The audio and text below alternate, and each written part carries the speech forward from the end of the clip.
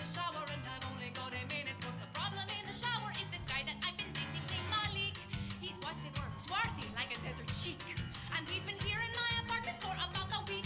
I met him down at Cafe Sombra and I know you think I'm overly romantic, but you wouldn't believe the connection we had. Like immediately, I was ready for him to meet my mom.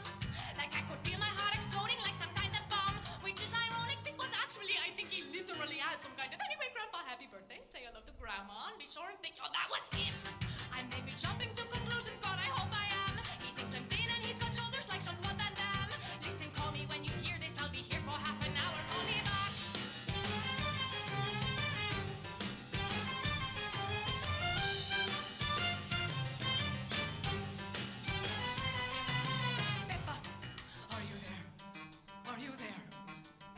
okay or not there? But we need to talk. My stomach's aching like I swallowed some enormous rock. I'm at the phone booth on the corner and have only got a minute. Cause I'm running out of change cause I've been lending all my money to Malik.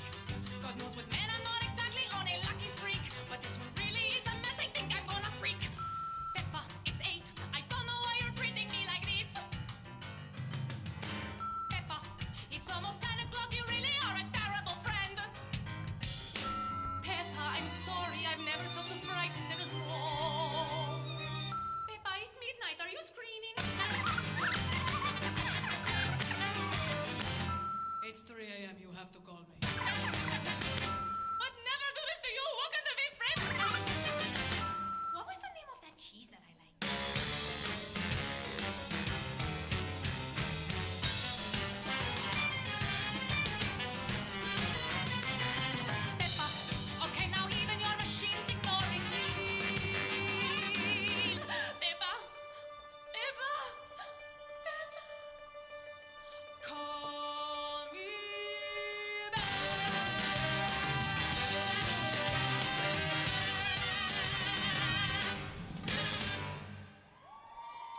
Ladies and gentlemen, that is Call Me Back.